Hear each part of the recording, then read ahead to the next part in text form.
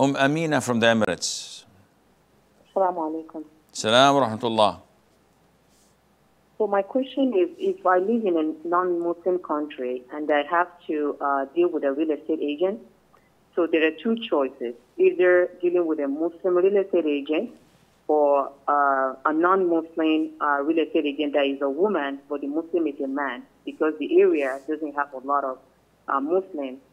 In order to support the Muslim community, is it okay to deal with the man that is a real estate agent instead of, instead of the woman that is a non-Muslim? First of all, this is something that is related to whatever is convenient. Dealing with a Muslim woman, if there is no seclusion, she's abiding by the hijab, if this is totally business, no flirting or chit chatting, strictly business, this is halal, no problem in that. But you have to follow the rules. And secondly, dealing with a non Muslim man is totally halal. There's no problem in that. The issue is what's more convenient for you.